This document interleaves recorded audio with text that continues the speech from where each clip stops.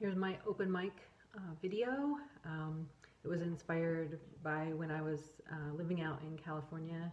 Um, lots of homeless people out there, and um, with the um, the health issues that we're having right now, um, you know, everyone is uh, potentially thinking of themselves, and I think that it's always good to be thinking about the homeless population as well.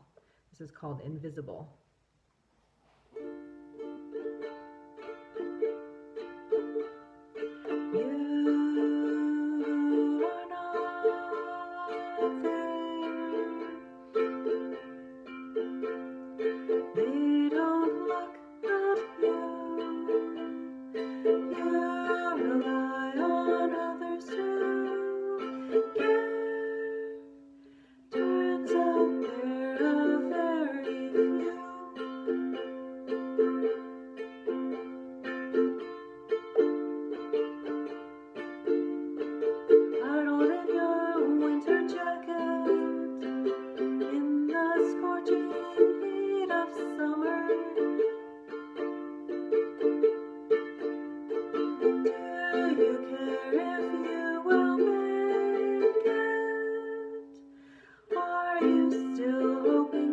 Something better?